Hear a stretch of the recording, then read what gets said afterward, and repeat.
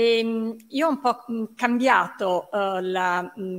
l'idea che avevo uh, del, della presentazione, eh, un po' in funzione dei tempi, un po' di quello che è saltato fuori questa mattina, perché stamattina secondo me è stata eh, una mattinata, e non lo dico per piaggeria, ma è stata una mattinata interessantissima, eh, sia eh, eh, con i temi trattati e, sia come sono stati trattati dai relatori e quindi volevo ringraziare eh, Carlo, eh, eh, Fabio, oh, Rosella e, e, tutti quelli che hanno contribuito a, a impostare questa, eh, questo pannello di, di interventi. Ehm, Giardini storici che sono un tema fondamentale di cui se ne parla tantissimo. Io ho cominciato a, a studiarli ancora appena laureata e, e, dopo le prime diapositive che vedremo, eh, Alberto Minelli citava prima il professor Chiusoli con cui appunto eh, anch'io ho lavorato, mi sono laureata eccetera e uno dei primi progetti, lo vedremo dopo, fu eh, la sistemazione del giardino, di parte del giardino di Palazzo Ercolani eh, a Bologna nell'ambito del nonno centenario dell'università, dei festeggiamenti del nonno centenario dell'università. Però eh, prima di eh, vedere questa piccola presentazione che ho fatto, mi piaceva un po' um, um, fare alcune considerazioni generali sui giardini storici. Eh, innanzitutto stamattina credo sia risultato in maniera evidente che c'è una consapevolezza assolutamente rinnovata su questo tema, un interesse e eh, anche una disponibilità economica che non c'è mai stata in passato e questo grazie al lavoro, eh, e guardo eh, appunto eh, Giuseppe Lamastra, di eh, tanti all'interno del Ministero, all'interno di Abge, eccetera, che hanno sollecitato e supportato e portato avanti quel lavoro che fino a un certo momento era stato fatto, credo, soprattutto dalle università. E quindi invece questa correlazione fra università e ministero e, e pubblica amministrazione eh, eh, nell'accezione appunto di, di, ministeri diversi rispetto a quelli dello studio e della ricerca sia importante. La seconda questione eh, che mi preme evidenziare, che ha un po' tirato eh, fuori invece eh, Eraldo eh, Antonini, collego un po' di cose. Carlo, uh, sono l'ultima, eh, mi sembra, mi sento, mi sembra, no, perché, perché, poi così arriviamo a parlare di quello che era un po' il mio tema. È, eh, la definizione di giardino storico, uh, che è un tema apparentemente capriccioso che, o, o, o, di puntiglio, ma che invece è un tema, a mio avviso, sostanziale. Eh, a nessuno verrebbe eh, mai in mente di scambiare un eh, triciclo oh, per un'automobile, perché sono due cose completamente diverse e, e, lo sappiamo tutti e quindi se io dico sono venuta eh, in triciclo e poi ho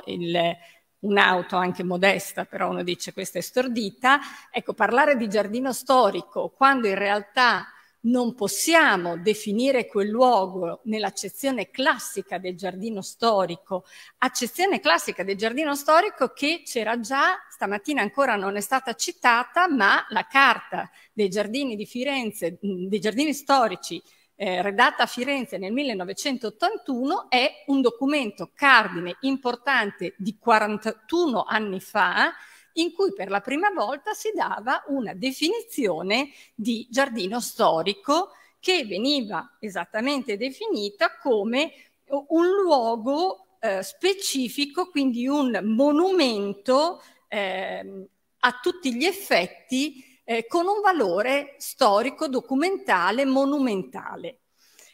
Ieri, perché poi c'è questa, eh, sempre a testimonianza della, della, di questo mm, fervore che c'è adesso sui, eh, sui, giardini storici, ieri e oggi a eh, Miramare, nel parco di Miramare a eh, Trieste, c'è un convegno, ci sono due giorni di convegno proprio sui giardini storici ehm, e ieri ehm, eh, Lionella Scazzosi eh, nel suo intervento di apertura diceva Passiamo da giardino storico come opera d'arte da conservare e contemplare a bene comune, quindi da patrimonio da difendere a risorsa molteplice. Ecco, secondo me questa, mh, eh, questa affermazione di Lionella fatta ieri a Miramare ha un valore importante, cioè continuiamo a considerare il giardino storico un, un bene importantissimo, non ha più solo il valore di opera d'arte da conservare, ma anche un'accezione di bene comune e di patrimonio che è una risorsa molteplice. Nel titolo del mio intervento io avevo chiesto appunto che si inserisse ehm, la parola, il termine eh, legato appunto alle infrastrutture verdi, perché io credo che tutti gli spazi di valore storico, e qui mi piace appunto ricollegandomi a quello che dicevo prima, mh, Parliamo di giardino storico ed Eraldo Antonini prima ci ha dato una puntualizzazione di quello che dobbiamo considerare giardino storico ed è un'accezione precisa per determinati luoghi conservati in un determinato modo. Ciò non toglie che, a mio modestissimo parere, ci debba essere una valorizzazione, una ehm, cura eh, e, e, un valore eh, da crescere per tutti quegli spazi aperti di valore, e mi fermo qui, che sono, e riprendo quello che eh, stamattina ci, ha presen- ci, hanno presentato Fabio Falleni e Giovanna Daniele, tutta quella serie di eh, mh, spazi aperti eh, legati a edifici ehm, ehm, tutelati in alcuni casi in cui c'è la tutela del giardino, ma in tanti casi in cui la tutela del giardino non c'è.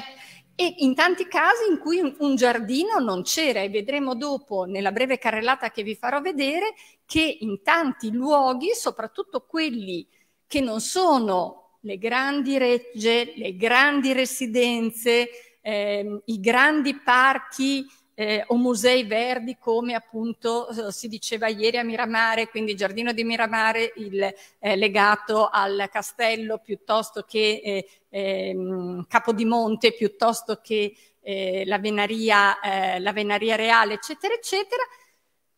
Sono comunque, il nostro paese è ricchissimo di spazi di valore lega, che hanno un'accezione di spazi aperti di valore che hanno un'accezione fondamentale e che devono essere tutelati, salvaguardati perché ci servono per fare da una parte quella rete, quella infrastruttura eh, paesaggistica, iconografica, ecologica, eh, turistica che è una delle caratteristiche salienti del nostro paese e dall'altra parte ci permette di valorizzare e tutelare un numero infinito di beni molto superiori rispetto a quelli che sono i giardini storici che ad oggi, 2022, ci sono arrivati con, secondo quella che era l'accezione iniziale e la progettazione e realizzazione iniziale o una progettazione, modifiche successive, ma che, di cui abbiamo ampia documentazione storica, documentale di, eh, eh, di, eh, e, di, e, di, presenze vegetazionali piuttosto che architettoniche legate alla struttura vera e propria del giardino, cioè quello di cui eh, io mi ehm, sono resa conto ormai, ahimè, in tanti anni di, di professione è che i casi in cui ci si trova ad avere del, del giardino eh, una storia univoca, definita e ehm, consolidata e condivisa eh, dalle varie figure che hanno studiato quel giardino sono veramente, mi viene da dire, li possiamo limitare sulle dita di due mani, forse sono un po' di più, però in realtà sono veramente poche. Ma abbiamo eh, i mille eh, luoghi solo nella, nella nostra regione, eh, eccetera, eccetera. Quindi questo secondo me è un tema eh, che ehm, ci, a me molto caro e credo sia importante. Ecco perché mi piace parlare di giardini storici e di spazi aperti di valore che sono tutti gli altri eh, e che sono beni comunque che a mio avviso eh, il Ministero deve comunque aiutare, valutare e tutelare, i, le, le, amministrazioni, ehm, le, amministrazioni, locali devono eh, valorizzare e tutelare. Dicevo spazi aperti di valore, poi ci vogliamo aggiungere eh, l'aggettivo storico.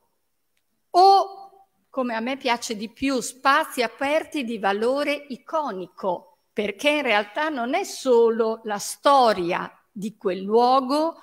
ma è la, ehm, eh, il legame visivo, anche solo virtuale, che almeno la comunità locale ha per quel luogo. Eh, Garofalo, eh, che mi dispiace appunto eh, no, non sia più in sala, ma ci parlava di, eh, dell'enorme valore che quella che era la reggia di Caserta, eh, la, scusate, la reggia di Rivalta, di cui ormai eh, veramente ci sono solamente dei lacerti di quello che era il giardino storico nell'accezione eh, classica del termine, hanno invece ehm, nella, ne, nella, comunità di, eh, di, di, di, Rivalta, di Reggio Emilia e quindi tutti quelli che sono stati i temi eh, legati a questo, uh, a, questo, mh, a questo, grande progetto, uh, a questo grande progetto di eh,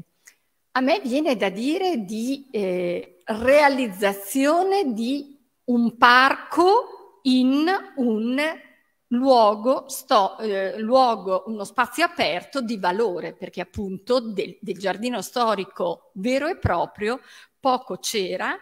e eh, mi viene da dire, eh, siccome nel nostro paese abbiamo tantissime cose meravigliose, ma abbiamo anche ehm, la capacità sempre di appiccicarci o disperderci in eh, quisquiglie eh, formali, eh, mi verrebbe da dire, eh, siccome siamo in una platea tutta di non solo di, di tecnici, eh, ma anche di, di, esperti e di eh, professionisti che lavorano eh, nel tema degli spazi aperti, mi verrebbe da dire, eh, una, spezzo una lancia a favore del dire non li, litighiamo, non perdiamoci nelle questioni formali, minimali, ma pensiamo a quello che è il bene, quelli che sono i beni, l'enorme patrimonio di beni che abbiamo da valorizzare e da tutelare. Mentre parlo, eh, avevo preparato una breve eh, presentazione ehm, con alcuni eh, progetti eh, che ehm, eh, appunto ho, ho seguito nel corso degli anni, ne ho selezionati alcuni.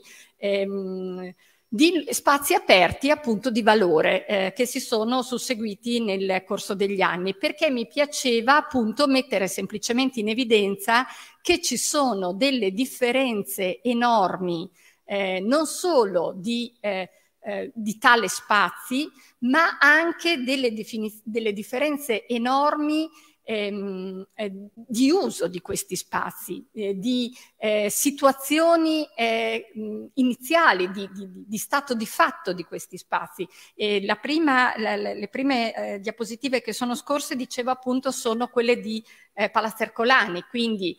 un giardino eh, all'interno della città eh, di Bologna, eh, in strada maggiore, di proprietà dell'università. Io collaborai col professor Chiusoli che eh, doveva semplicemente andare a ritrovare, eh, eh, delimitare uno spazio all'interno di questo cortile interno eh, che venisse destinato solo agli studenti dell'università perché lo spazio nella sua globalità aveva un valore pubblico. Quindi scelte che da un punto di vista progettuale, se si parlasse di giardino storico, sarebbe un termine assolutamente improprio perché è stata fatta un'operazione completamente ehm, errata rispetto al valore storico di, quel, di, di quello spazio, ma che a mio avviso invece ha avuto un valore importantissimo in quanto ha reso disponibile un piccolo spazio di poche decine di metri quadrati che erano precluse a tutti e che sono invece diventati un luogo per gli studenti dove eh, in maniera molto leggera, perché le piante, è vero che gli alberi, Alberto Minelli oggi diceva, gli, parlava di alberi monumentali incredibili per quali fare operazioni incredibili, ottimo e che hanno dei tempi di un certo tipo, ma ci sono gli arbusti, ci sono le piante erbacee, ci sono tante cose che si possono utilizzare anche in maniera molto più semplice ed, ed utile che si possono mettere immaginando che poi fra 5, 10, 20 anni possano essere anche spostate o eliminate senza che stringa il cuore perché si è andata ad abbattere una pianta eh, che ormai sta sviluppandosi, eccetera. Quindi, mh, dicevo, spazio pubblico di questo tipo. Eh, il secondo esempio invece che vi volevo presentare è eh, un piccolo uh, spazio aperto pedecollinare eh, di quella che era una tenuta agricola. Ci troviamo eh, nella città, io dico nella città di Bologna, ma in realtà in tutto il territorio nazionale abbiamo mille, ehm, mille, mille, mille eh, case di campagna eh, che poi eh, sono state trasformate in case di città con uno spazio esterno che era in larga misura un spazio di coltivazione, un'azienda agricola dove il pragmatismo emiliano-romagnolo fa sì che eh, Anna Maria Matteucci parlasse di giardino campagna, che guarda caso è stato utilizzato per soprattutto l'Emilia Romagna. Da noi eh, l'idea di riservare al giardino un piccolo spazio della tenuta perché tutto il resto doveva produrre eh, è, un ter- è, un, è, una, è una cosa che c'è stata nei secoli, quindi buona parte nostri, mh, delle nostre case di campagna avevano uno spazio molto molto piccolo dedicato al, al giardino, al ricevimento degli amici durante la villeggiatura estiva e tutto il resto era invece coltivato. Allora sono spazi aperti però secondo me di valore, sono edifici importanti il fatto che ci siano dei proprietari anche privati che con scelte, permettetemi, anche in alcuni casi ardite da un punto di vista architettonico, ma che salvaguardino eh, in, questo, in, questo, piccolo giardino c'è eh, un, un, un, un eh, alcune querce meravigliose, monumentali, ecco, solo quello secondo me ha un valore eh, importantissimo. Per quello che riguarda sempre i, i giardini privati e il finanziamento, um, il bando appunto di, di pochi mesi fa, ehm, eh, Giuseppe eh, prima metteva in evidenza e, e dopo anche Alberto Minelli che i privati rispetto al pubblico in alcuni casi garantiscono una continuità di ehm, gestione, di manutenzione di gestione maggiore perché c'è un attaccamento anche proprio eh, così emotivo o familiare. Eh, non è sempre vero, ma in alcuni casi c'è ma pensiamo anche che i privati nel momento in cui eh, invece per motivi ereditari o quant'altro eh, il bene viene, passa a qualcuno che eh, non ha più interesse per quello spazio, cadono letteralmente nella, ehm, nell'abbandono più totale. E, e, qui il tema sempre della conservazione e, e gestione eh, se un edificio, fin tanto che non si sfonda il tetto, e, e permettetemi questa, questa, questo, questo, taglio un po' di, eh, con l'accetta, però fin tanto che non si sfonda il tetto, un edificio si conserva nei secoli e quindi quella che è la sua struttura ha una manutenzione o un degrado lentissimo, per quello che riguarda il verde bastano 3, 4, 5 anni di abbandono e eh, in alcuni casi si è perso completamente eh, traccia di tutto o le piante esistenti hanno subito un degrado tale che diventa veramente difficile eh, agire successivamente. E questo è un altro giardino, poi vado più, le aiuto le diapo a, a passarle, che, che ha ehm, nella campagna bolognese di pianura, quello di prima vi facevo vedere un giardino pedecollinare, questa è una vecchia villa settecentesca, anche questa è una villa tutelata con il giardino tutelato. Del giardino non c'è assolutamente nulla, non si è trovato traccia di nulla. Eh, le ricerche storiche sono state fatte estremamente eh, approfondite, gli interni sono eh, veramente fatiscenti perché? Perché il tetto è crollato e quindi alla fine e poi eh, già nel passato erano successe tante cose e quindi trasformazioni d'uso pazzesche. Siamo, abbiamo cominciato a intervenire, abbiamo fatto i primi lavori, abbiamo fatto i primi abbattimenti, eccetera, eccetera. La, è arrivato il Covid la proprietà ha, eh, doveva realizzare una struttura ricettiva, eccetera, eccetera, e ha deciso che eh, non se la sentiva e quindi un evento assolutamente imprevedibile eh, ha fatto sì che adesso ci sia un cantiere architettonico fermo e ci sia un cantiere eh, paesaggistico fermo, nel senso che l'unica cosa che abbiamo fatto, e ormai siamo a tre anni fa, ehm, eh, si era comunque eh, fermato tutto, avevamo fatto solo la messa in sicurezza, l'eliminazione delle piante più eh, più degradate, ma tutto quello che è il nuovo impianto non si è fatto nulla e sinceramente non so quando e come potrà nuovamente vedere la luce in un posto, secondo me, ehm, di, una, di un'importanza eh, incredibile. Eh, di un'importanza incredibile perché è una bellissima villa, perché è in un posto che veramente farebbe da rete di connessione, perché potrebbe essere all'interno di una serie di percorsi anche eh, ciclabili o di visita eh, nel territorio emiliano estremamente eh, significativa. Eh, e mh, questa è, è, è, un altro, è, un altro, progetto invece che eh, era stato presentato per il bando eh, dei, del PNRR, eh, anche questo di un priva- privato eh, in Romagna, Forlimpopoli, eh, e che in realtà non ha avuto il finanziamento. Eh, quindi ehm, è un giardino, eh, c'è una villa, eh, eh, prima avete visto uno o due foto degli interni affrescati, eh, questo è l'esterno, vedete come la vegetazione ha eh, veramente ormai inglobato questa doppia scalinata meravigliosa di, un, di una grazia eh, incredibile, dove ci sono degli esemplari pazzeschi, questo è credo il più bel cedro della regione, eh, all'interno ci sono esatto due alberi monumentali tutelati, eccetera, eccetera. Come? Sì, sì, a livello nazionale assolutamente. Quindi eh, c'è questo, c'è una ginkgo incredibile, ma insieme a questo ci sono anche degli esemplari eh, che non sono fra gli esemplari tutelati d'Italia, ma che hanno un valore incredibile. Ehm, il proprietario aveva deciso di partecipare al bando e avrebbe realizzato il giardino dicendo cosa abbastanza inusuale, va bene, intanto pensiamo al giardino e poi alla villa eh, ci penseremo dopo.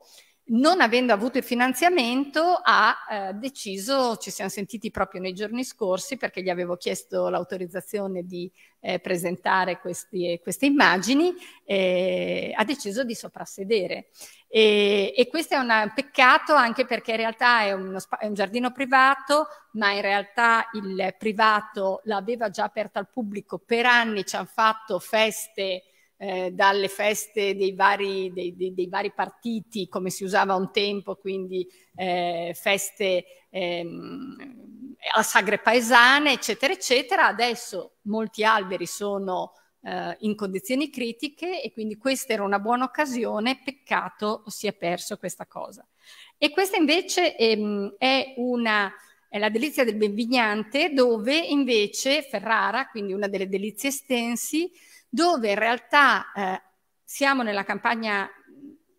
campagna ferrarese si trova che spunta dal nulla questa delizia, come ce ne sono altre, luoghi incredibili eh, de, della, della, follia lungimiranza degli estensi del, dell'epoca, dove all'inizio degli anni 2000 l'amministrazione comunale, eh, siccome comunque i locali utilizzavano quello spazio, cioè una frazione, che è una frazione di Argenta che si chiama Benvignante, lo utilizzavano e avevano volontà di avere uno spazio comune condiviso, eh, in realtà cos'è successo? È stato realizzato un giardino di stampo moderno che non c'entra nulla con eh, la delizia estense, anche qui il materiale storico è praticamente quasi nullo sul giardino, però in realtà è stato realizzato un giardino di cui si capisce immediatamente che nulla ha a che vedere con quello che, che c'era, vedete qui addirittura un laghetto veramente come un, un, giardine, un giardino pubblico di, di inizi anni 2000, ciò nonostante l'amministrazione ha deciso, a mio avviso, ora con lungimiranza, di dire bene, abbiamo utilizzato un fondo regionale per andare di forestazione intanto per perimetrare l'area eh, con arbusti e, e piante arboree, utilizzando quindi una sorta, andando a realizzare una chiusura eh, per preservare eh, questo bene che tuttora è invece completamente aperto e dove eh, in realtà immaginando in un futuro, credo però piuttosto lontano, poter pensare anche di smantellare l'intervento che era stato fatto, assolutamente incongruo e di, che rende una lettura immediata di una eh, così discrasia fra quello che è il, il, la reggia e quello che è il, eh, il giardino. Eh, l'ultimo eh, esempio invece che porto, e, e così eh, chiudiamo invece anche su un esempio di gestione, eh, perché poi alla fine ehm, ho, ho, detto solo alcune cose relative alle, alle, problematiche che ci sono sui giardini storici, ai costi. Alberto Minelli ci ha, fatto, mh, ci ha presentato, illustrato ehm, ipotesi del terzo millennio, ma che naturalmente è impossibile andare a presentare ai privati, che davanti a costi, è vero, anche la pubblica amministrazione, e lui diceva, il direttore di Caserta ai 20 metri cubi di terreno da spostare, si è messo le mani nei capelli, il privato se le mette anche con un metro cubo da spostare, quindi eh, i temi sono molto, molto diversi e ehm, problematiche e differenze. Allora questa è un, eh, i giardini di Galleria Borghese li conoscete tutti, in realtà eh, anche in questo caso si parla dei, spesso dei giardini storici di eh, Galleria Borghese, in realtà c'erano i giardini storici, c'erano i giardini rinascimentali all'interno della galleria, ma pazzesco a dirsi, ma di documentazione storica praticamente non c'è nulla, eh, sono stati ricostruiti eh, fra la fine del 1999 e il 2000 eh, con un progetto del Comune di Roma e della Sovrintendenza di Roma, secondo un'ipotesi, una ricostruzione inventiva ehm, di eh, giardino storico con quelle che erano le specie dell'epoca e quindi, e con questo Carlo chiudo, ehm, inventando di fatto il disegno del giardino perché il giardino non c'era, utilizzando però, eh, cioè non è che non c'era, non c'è traccia di come era fatto, scusatemi, grazie eh, Eraldo che hai scosso la testa e ho, ho, avevo detto una cosa imprecisa, i giardini c'erano assolutamente, c'è documentazione che ci fosse, ma non c'era, non, non è stato trovato il disegno, quindi il disegno è stato fatto secondo la moda dell'epoca all'inizio degli anni 2000, sono state usate piante che in quegli anni si trovavano nei giardini, venivano utilizzate, eccetera, eccetera. Qual è il problema che abbiamo adesso per la manutenzione? Io sono consulente del RUP per la gestione di questi due piccoli giardini, che il costo delle bulbose, delle annuali, la ehm, ehm, deperibilità di questo materiale è talmente alto che è assolutamente insostenibile anche per l'amministrazione pubblica. E quindi la domanda è, possiamo immaginare di continuare o sono necessari adattamenti? Quindi il tema è aperto, non ho dato delle risposte, credo di aver fatto solo delle domande, però eh, ringrazio per essere stata qui con voi. Grazie.